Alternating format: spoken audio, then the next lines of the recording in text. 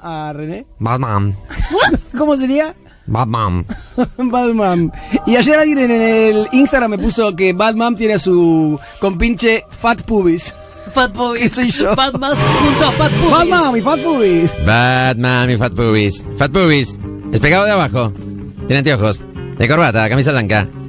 Y Batman, ya sabemos, es mala madre. Es una porquería de madre. Los hijos no la quieren. Ella los deja tirados con los mocos y las enfermedades. Tienen fiebre, no importa.